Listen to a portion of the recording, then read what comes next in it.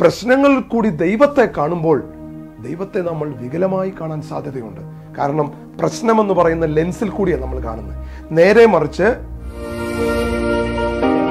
ഇരുൾ അടഞ്ഞ വഴികളിൽ തിരുനാളമാകുവാൻ ഇന്നത്തെ ചിന്ത. രണ്ട് ശമുവേൽ ഇരുപത്തിരണ്ടാം അധ്യായം. നിന്നാൽ ഞാൻ പടക്കൂട്ടത്തിന് നേരെ പാഞ്ഞു ചെല്ലും. ദൈവത്താൽ ഞാൻ മതിൽ ചാടിക്കളഞ്ഞു ദാവീദിന്റെ ജീവിതത്തിന്റെ വളരെ പ്രയാസമേറിയ പ്രതിസന്ധികൾ നിറഞ്ഞൊരു കാലഘട്ടം.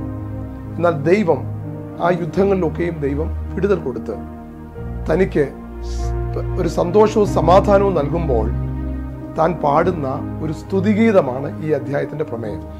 ഇതിന് സമാന്തരമായിട്ട് നമുക്ക് പതിനെട്ടാം സങ്കീർത്തനം വായിപ്പാൻ കഴിയും. പതിനെട്ടാം സങ്കീർത്തനവും രണ്ട് ശമയിൽ ഇരുപത്തിരണ്ടും ഒരേ പാട്ടുകൾ തന്നെയാണ് നമ്മൾ വായിക്കുന്നത്. ദാവീദിന്റെ സന്തോഷഗീതം. എന്താണ് ദാവീദിന് സന്തോഷമുണ്ടാകാനുള്ള കാര്യം? തന്റെ യുദ്ധങ്ങളൊക്കെയും തന്റെ പ്രതിസന്ധികളൊക്കെയും തന്റെ ജീവനെ കാർന്നു തിന്നുവാനായിട്ട് ഓടിയെടുത്ത് ശത്രുക്കളെയൊക്കെയും ദൈവം തോൽപ്പിച്ചു. പഴയ നിയമത്തിൽ മാനുഷികവുമായ ഭൗതികവുമായ യുദ്ധങ്ങളായിരുന്നു ഉണ്ടായിരുന്നതെങ്കിൽ പുതിയ നിയമത്തിലേക്ക് വരുമ്പോൾ ജഡരക്തങ്ങളോട് നമുക്ക് യുദ്ധമില്ല എന്നുള്ളത് നമ്മൾ ചേർത്ത് വായിക്കണം. കാരണം നമുക്ക് യുദ്ധമുള്ളത് പിശാചിന്റെ വാഴ്ചകളോടും അധികാരങ്ങളോടും സ്വർലോകത്തിലെ ദുഷ്ടാത്മസേനയോടും അത്രേ. അപ്പോൾ ഒരു വിശ്വാസിയുടെ ജീവിതത്തിലും ഇപ്രകാരം യുദ്ധങ്ങൾ ഉണ്ടാകുമ്പോൾ അവിടെ ആരാണ് നമുക്ക് ജയം നൽകുന്നത്? കാൽവറിയിൽ നമുക്ക് വേണ്ടി പരമയാഗമായി തീർന്ന ക്രിസ്തുവാണ്. ഈ അധ്യായം നമ്മളെ പഠിപ്പിക്കുന്ന രണ്ട് മൂന്ന് സത്യങ്ങളുണ്ട്. ഒന്ന് the battle belongs to the Lord. നമ്മുടെ യുദ്ധങ്ങളൊക്കെയും നമ്മുടെ യുദ്ധങ്ങളല്ല നാം ദൈവമക്കളായിരിക്കുന്നിടത്തോളം കാലം ആ യുദ്ധങ്ങൾ ദൈവത്തിന്റെ യുദ്ധങ്ങളാണ്. അത് നമ്മൾ ഏറ്റവും അടിസ്ഥാനമായി തിരിച്ചറിയണം. പ്രശ്നങ്ങളെ പ്രശ്നങ്ങളിൽ കൂടി ദൈവത്തെ നോക്കാതെ വിശ്വാസികൾക്ക് പറ്റുന്ന ഒരു വലിയ വലിയ പരാജയമാണ് പ്രിയപ്പെട്ടവരെ. പ്രശ്നങ്ങളിൽ കൂടി ദൈവത്തെ കാണുമ്പോൾ ദൈവത്തെ നമ്മൾ വികലമായി കാണാൻ സാധ്യതയുണ്ട്. കാരണം പ്രശ്നമെന്ന് പറയുന്ന ലെൻസിൽ കൂടിയാണ് നമ്മൾ കാണുന്നത്. നേരെ മറിച്ച് പ്രശ്നങ്ങളെ ദൈവത്തിൽ കൂടി കാണാൻ നമ്മൾ ശ്രമിക്കുമ്പോൾ നമ്മുടെ ജീവിതത്തിൽ വിജയമുണ്ടാകും. അതാണ് ഗോലിയാത്തിനെ പോലും പരാജയപ്പെടുത്താനായിട്ട് ദാവീദിന് കഴിഞ്ഞത്.